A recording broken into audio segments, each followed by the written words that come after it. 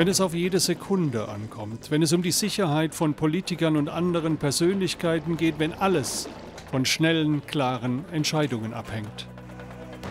Dann haben die Rettungskräfte bisher Zeit verloren. Die Einsatzleiter von Polizei und Feuerwehr mussten sich treffen, um das Vorgehen abzusprechen. Ein gemeinsamer Funkverkehr war nicht möglich. Das soll sich ändern.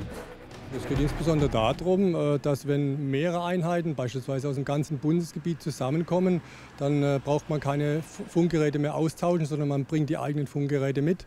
Es werden sogenannte Gruppen geschaltet und dann können die Einsätze gut bewältigt werden.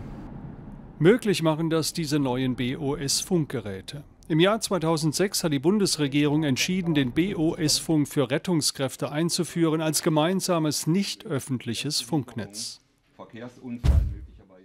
Was ist BOS-Funk? BOS ist die Abkürzung für diejenigen, die das Funknetz nutzen dürfen, nämlich Behörden und Organisationen mit Sicherheitsaufgaben, also Polizei und Rettungskräfte, für sie wurde das BOS-Funknetz errichtet.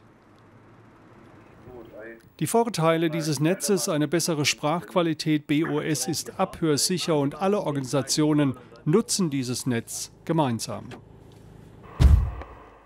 Wie viele Funkmasten werden gebraucht?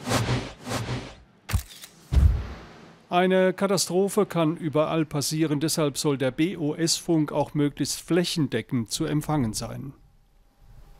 Am Beispiel Freiburg sehen wir es. Wir haben hier zwei Standorte, äh, die das Stadtgebiet und das nähere Umland äh, versorgen. Im gesamten Regierungsbezirk haben wir jetzt 160 Standorte für das digitale Funknetz.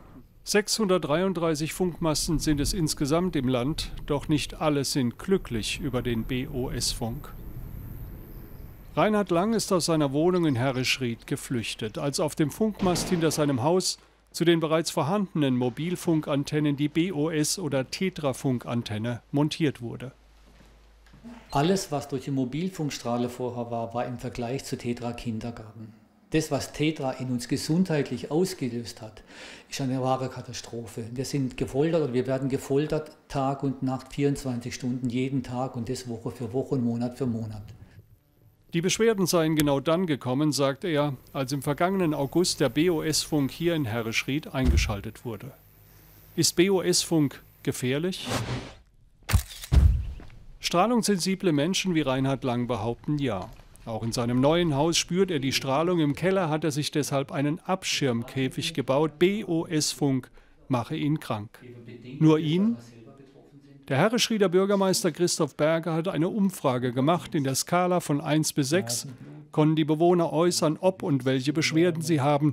Die Antworten überraschend. Und im Durchschnitt waren es dann doch äh, Zahlen zwischen 4 und 5. Das heißt also doch erhebliche bis massive Beschwerden. Die Nutzer des BOS-Funks wie die Polizei können dazu wenig sagen. Sie berufen sich auf das Bundesamt für Strahlenschutz und das hält die BOS-Anlagen nach dem jetzigen Wissensstand für unbedenklich. Gefährlich oder nicht gefährlich? Studien gibt es viele, eine verlässliche Aussage gibt es nicht. Meine Erwartung als Nutzer wäre, dass die Wissenschaft sich hier näher kommt, um zu äh, belastbaren Ergebnissen zu kommen, damit auch ich für mich und meine Kollegen und für die Bevölkerung das weiterhin mit gutem Gewissen sagen kann, der Digitalfunk, der Behördenfunk ist, ist gesundheitlich unkritisch. Fest steht, der BOS-Funk ist in Baden-Württemberg eingeführt, flächendeckend.